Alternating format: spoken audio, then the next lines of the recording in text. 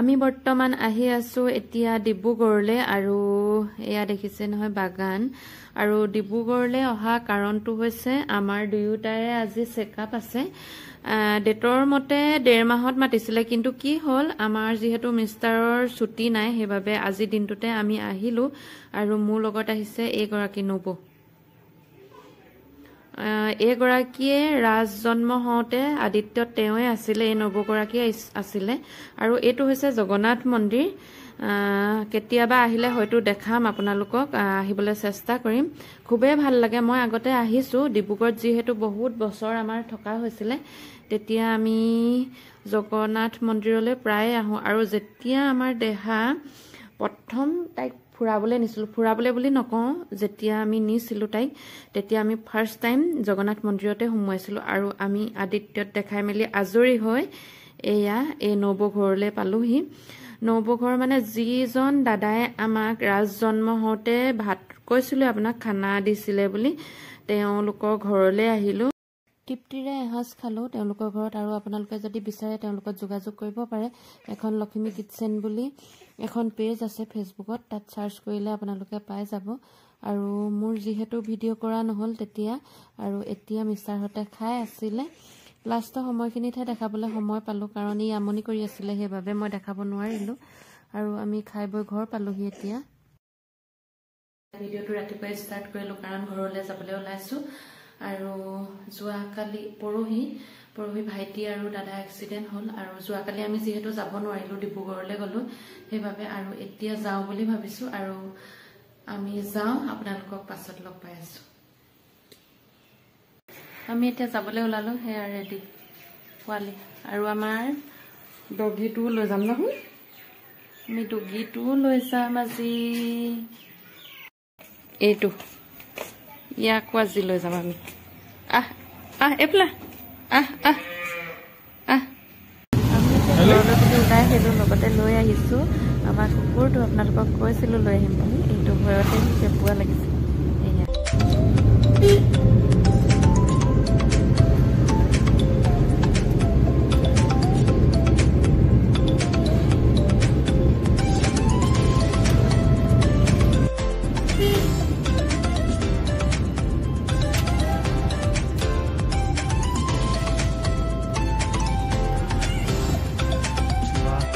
এইফালে চা চা এইফালে উলি দি দিয়া উলি দি দিয়া হন উলি দি দিয়া কৈ দিয়া কৈ দিয়া উলি দিয়া আকৌ দিয়া উলি দি দিয়া উলুলু কৈ দিয়া উলুলু ও উলি দিছা নি ধুনুকে কৈ দিয়া ধুনুকে উলি দি দিয়া উলি দি দিয়া উলুলু কৈ দিয়া হন কৈ দিয়া আৰু আমি এতিয়া ইয়াতে বহি চাহ খাই আছো সকলোৱে। আৰু যেতিয়া লগ হোৱা হয় খুব ভাল লাগে। আৰু মই যোৱা বুলি ক'লে এই আইতাগৰাকী কেতিয়াও নহাকৈ নাথাকে। আমাৰ দেউতা খুৰীয়েক হৈছে আৰু তেওঁ খুব মৰমীয়াল হৈ আছে। দুনু দুনু। যোৱাকালি মই মা ঘৰলৈ গৈছিলোঁ আৰু ভাইটি আৰু দাদা এক্সিডেণ্ট হৈছে আপোনালোকক কৈছিলোঁ যোৱা আগে আগে। আৰু পৰহি গ'লোঁ আমি চেকআপত গ'লোঁ আদিত্যলৈ দুয়োটা ডিব্ৰুগড়লৈ। আৰু তাৰো চেকআপ আছিল মোৰে মোৰো আছিল। পৰহি ডেট নাছিল কিন্তু কি হ'ল যিহেতু দেউতাকে ছুটি নাপায় সেইবাবে ভাবিলোঁ সেইদিনাখনি ছুটি লৈছিলে আৰু গৈ আহোঁ বুলি ভাবিলোঁ সেই গ'লোঁ তাৰ আগদিনাখনি কি হ'ল পৰহি আগদিনাখনি কথা কৈছোঁ ৰাতি আমাৰ ৰাজৰ খুব মানে খুব নহয় এবাৰে বমি কৰিলে।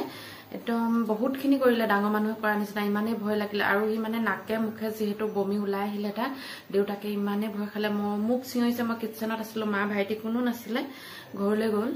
আৰু চিঞৰা দেখি মই ভাবিছো নিশ্চয় কিবা এটা হ'ল এদিনো মোক তেনেকে নিচিঞৰে। মই দৌৰি আহিলো আলু কাটি আছিলো আলু চালু পেলাই থৈ দৌৰি আহিলো তাৰপৰা চাইছো সি গোটেই মানে কাপোৰে চাপোৰে কিবা হালধীয়া নিচিনাকে বমি কৰিছে ভয়ো লাগিছে কি কাৰণে হৈছে নাজানো নহয় আৰু হালধীয়াকে বমি কৰা দেখাও নাই এদিনো। দেখিছো যদিও সেই গাখীৰৰ নিচিনাই দেখো দৈৰ নিচিনা এনেকুৱা ধৰণৰ ওলাই চন্দিয়ালে আৰু সি মানে বমিয়ে হয় সেইটো। আৰু খুব ভয় লাগিলে হালধীয়া হোৱাৰ কাৰণে একদম আৰু হালধীয়াটো হালধীয়াই নাকে মুখে যিহেতু তাৰ ওলাই গ'ল খুব ভয় খালে সি আৰু উশাহ ল'ব পৰা নাই। চকুকেইটা ফিট কৰি কৰি দিছে কলা পৰি যোৱা নিচিনা হ'ল উশাহ ল'ব নোৱাৰাৰ কাৰণে। মই একদম কান্দিবলৈহে লাগিছো ইমানেই ভয় লাগিছে মোৰ। তাৰপিছত যিহেতু ডাঙৰ মানুহ বুলি কোনো নাই বৰমা ওচৰলৈ এজনক পঠিয়ালো গ'ল আৰু বৰমাহেঁতো ইমান ভবা নাই যে এনেকুৱা এটা হৈছে বুলি। আহিলে তেওঁলোকো তাৰপিছত মই যেনেকে আছো তেনেকে ওলাই হস্পিটেল গুচি গলো ইয়াক লৈ গলো ভাবিলো এডমিট কৰিব লাগিব তাৰ পাছত ঘৰলৈ ফোন কৰিলো ভাইটিলে কান্দি কান্দি ফোন কৰিছো ইমানেই ভয় লাগিছে এতিয়া কোনো নাই। বৰমা মই এজন হস্পিটেল গলো আমি তিনিওটাই। তাৰপিছত ভাইটিয়ে মোক সুধিছে মই যাব লাগিব মই বোলো আহ মই ভাবিলো আৰু হস্পিটেলত আমাক এডমিট কৰাব আৰু সি যদি কিবা নিবলগীয়া হলে ঘৰৰ পৰা সি নিব পাৰিব তেতিয়া। আহ বুলি কৈ মাতি দিলো সেই আহিলে আহি দাদাই সি আহিলে আমি সেই য'ত মানে দেখাইছো জিতুমণি দেউৰী বুলি ডক্তৰ এজন তেওঁ য'ত বহে মানে সিহঁতি তাৰে পালেগে গৈ। তাৰপাছত ঘৰলৈ আহিলে আহি মই থাকিবলৈ কৈছিলো সিহঁতক। এজনো থাকিবলৈ কৈছিলে। তাৰপাছত সিহঁতে যাওঁগে বুলি ক'লে গুচি গ'লগে। গুচি গৈ ঘৰৰ ওচৰ পাইছেহি। তেনেকুৱাতে এটা এক্সিডেণ্ট হ'ল। আৰু মানে ইফালৰ পৰা এজন মানুহ আহি মদ খাই আহিছিলে সম্ভৱ। তাৰপাছত ইহঁতি মানে ছাইডত ধুনীয়াকে গৈছে। ইখিনি বহুতখিনি জেগাই আছে কৈছে ৰাস্তাটোত। মানে ইহঁতি চাৰিভাগৰ এভাগত ইহঁতি গৈছে তিনিভাগে আছে মানে। সি আহি একদম মুখামুখিকে দিলে যদি ইহঁতক নামাৰে সি পোষ্টত মাৰি দিয়ে। তেনেকুৱা কণ্ডিশ্যন আৰু সেয়া গাড়ীখনো ভাগিলে মানে সাংঘাতিকভাৱে হ'ল আৰু। দুইটা উফৰি গৈ পৰিলেগে য'তে ত'তে পৰিলেগে। দুইটাই ভৰিতে দুখ পাইছে মানে। আৰু ক'ৰবাত ক'ৰবাত পাইছে হ'লেও ভৰি দুইটাতে দুখ পাইছে। আৰু আমাৰ মাজু দাদাই এটা ভৰিত বেছিকৈ দুখ পাইছে। ধুনুও পাইছে দুইটাতে পাইছে ধুনু দুইটা ভৰিতে পাইছে। হ'লেও মানে সি বেছিকৈ পাইছে ভৰিত এটা ভৰিত। তাৰপিছত সেই যোৱাকালি খবৰ ল'বলৈ গ'লো। যিহেতু যোৱা নহ'ল এজন ৰাতিয়ে গৈছিলে লগ নাপালে হস্পিটেলত। সিহঁতি ড্ৰেছিং চেচিং বেণ্ডেজ কৰি মেলি সিহঁতক পঠাই দিলে। সেই ৰাস্তাতে লগ কৰিলেগে। তাৰপৰা সেই ক'লে যাওঁ বোলে ব'লা। সেই গ'লো যোৱাকালি। পৰহি গ'লো সেই হস্পিটেললৈ যোৱাকালি গ'লো ঘৰলৈ। তেনেকেই গ'ল সময়বোৰ। ভিডিঅ'টো মোৰ হয়তো কেইবাদিনেও হৈ গ'লগে। ভাবিলো আজি মই ভিডিঅ'টো শেষ কৰি দিওঁ কথাখিনি কৈ।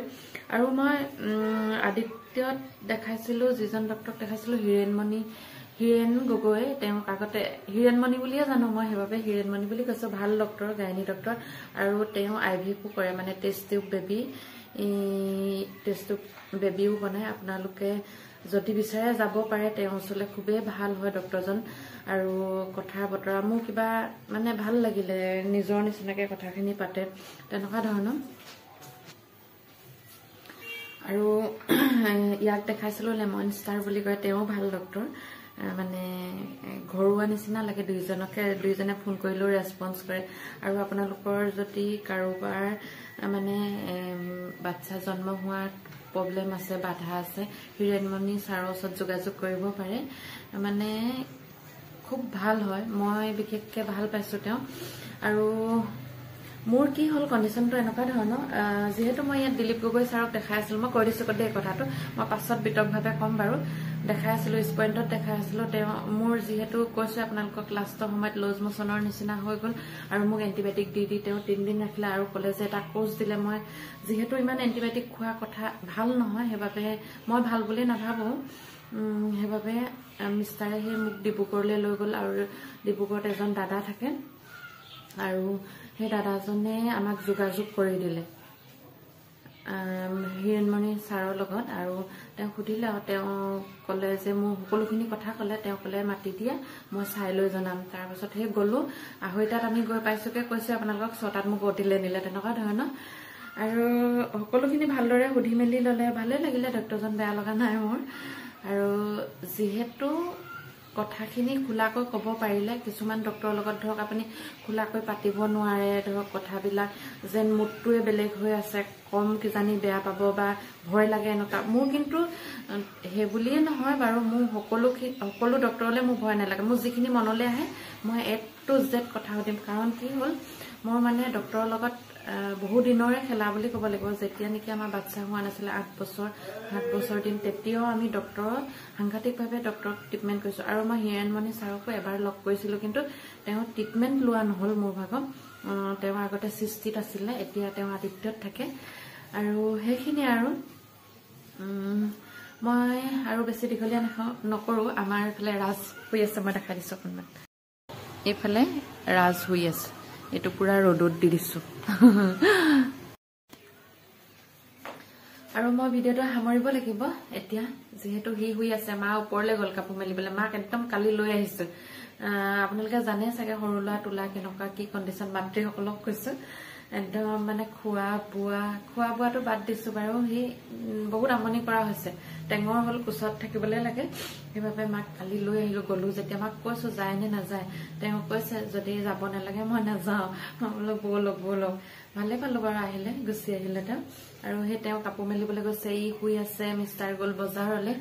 মই ভাবিলো এই চেগতে মই ভিডিঅ'টো শেষ কৰি ভিডিঅ'টো আপলোড আপলোড দিব পাৰো নাই নাজানো দেই। কি কৰো মানে কি মোৰ এডিটিং কৰিবলৈ আছে আগৰখিনি এতিয়া এইখিনি বাৰু এনেকেই দিব পাৰিম আৰু আগৰখিনি যিহেতু এডিট কৰা নাই সেইখিনি কৰিব লাগিব। যদি ই হৈ থাকে মই তেতিয়া এডিট কৰিব পাৰিম নহলে নোৱাৰো। আৰু ভিডিঅ'টো মই ইমানতে সামৰিছো এটি নতুন ভিডিঅ' লৈ পুনৰ আহিম আহ, তেতিয়াহ'লে।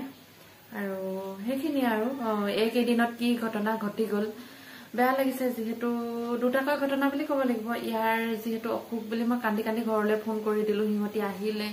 লৰালৰিকে। একদম মানে সাংঘাতিক স্পীডত আহিছে চাগে। মোৰ অনুমান দেই আহোতে। যাওঁতে কিন্তু সিহঁতি লাহে লাহে গৈছে। সিহঁতি কৈছে ইফালৰ পৰা যিহেতু জানেই আৰু সৰস্বতী পূজা সেইদিনাখনি।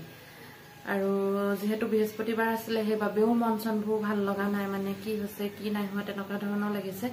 বৃহস্পতিবাৰ যিহেতু গুৰুবাৰ বুলি কয় গুৰু ভালৰ কাৰণে ভাল বুলিয়ে কৈছো। কাৰণ ইমানখিনিৰ পৰা সিহঁতি উদ্ধাৰ হ'ল। আৰু আমাৰ যিজন দাই ঢুকাইছিলে সেই দাই দাইজনৰো মানে সেইদিনাখনিয়ে তেওঁ শ্ৰাদ্ধ আছিলে। আৰু সেয়া চন ইমান ভাল লগা নাই। আজি ধুনু হয়তো আহিব ঘৰলৈ ইয়ালে। মাতিছিলো অহা মানে যোৱাকালি কৈছিলো যে বল যাওঁগে। গাটো খুব বেয়া লাগিছে কৈছে মই বোলো বল যাওঁগে। সি বোলে নাযাওঁ আজি তাৰ যিহেতু তাতে আৰ্টৰ ক্লাছ আছে ক্লাছ কৰি হয়তো এতিয়া চাৰে দহ বাজিছে পাবহি আৰু দহ পোন্ধৰ মিনিটৰ পাছত। ফোন কৰা নাই আহিম বুলি কৈছে যেতিয়া আহিব বুলি ভাবিছো কি হয়? আৰু সেয়া ভিডিঅ'টো মই ইমানতে সামৰি দিছো। আৰু এটি নতুন ভিডিঅ'লৈ আহিবলৈ পুনৰ চেষ্টা কৰিম। তেতিয়াহ'লে আজিলৈ আহিছো। Bye bye.